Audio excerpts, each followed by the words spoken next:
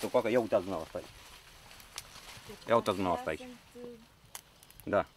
Și fără să fie... Într-adevăr, uh, foarte mari. Da, Cât deși să ce aibă să- o roșie din aceea? Le pune pe cântar. 5-600 de grame.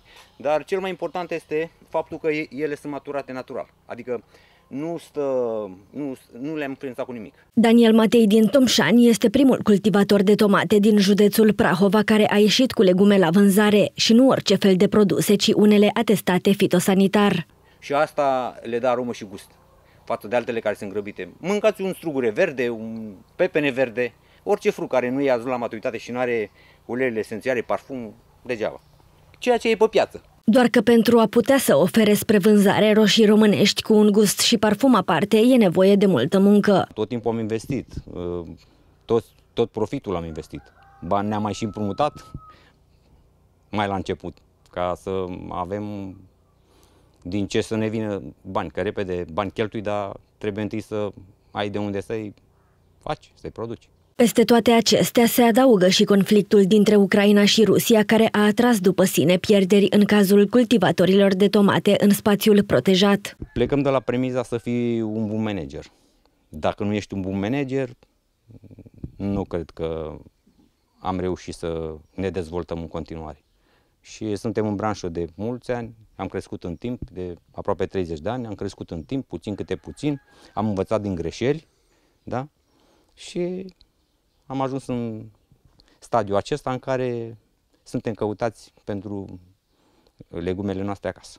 Avem mai multe lucruri de făcut, adică trebuie să și culegem, să vindem și ce mai, ce mai e de făcut, de udat, de întreținerea culturilor. Dar e cea mai grea perioadă pentru că este vorba de cules și de vânzare. Iar la acest capitol, familia Matei din Tomșani nu duce lipsă. Asta pentru că sunt deja clienți care vin de ani buni în localitate doar pentru roșiile lor. Cum sunt, doamnă, roșiile familiei mari? Foarte gustoase și foarte bune.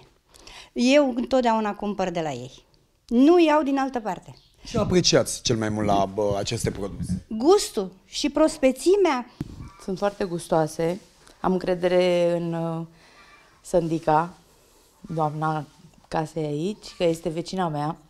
Am copilărit împreună și sunt sigură că sunt cât se poate de naturale. De aceea nu mă opresc la supermarket și vin și cumpăr de la Sândica. În mod normal, într-o intervenție de-a mea într-un astfel de material, ar fi trebuit să spun lucruri probabil mai interesante, dar ne-am gândit că este momentul să și gustăm aceste produse ale familiei Matei uh, din Tomșani. Tocmai de aceea, prin puterea exemplului, o să luăm o bucată de roșie. Gustul este absolut românesc și, bineînțeles, cum consumă toți și cu o bucățică de brânzică. Poftă bună! La nivelul județului Prahova, până în acest moment, s-au înscris aproape 800 de cultivatori de tomate pentru a putea să acceseze o schemă de ajutor de stat pentru compensarea parțială a pierderilor. Avem ordonanța 3 pe 2024 pentru cei care au cultivat începând cu luna decembrie până în luna aprilie, tomate în spații protejate.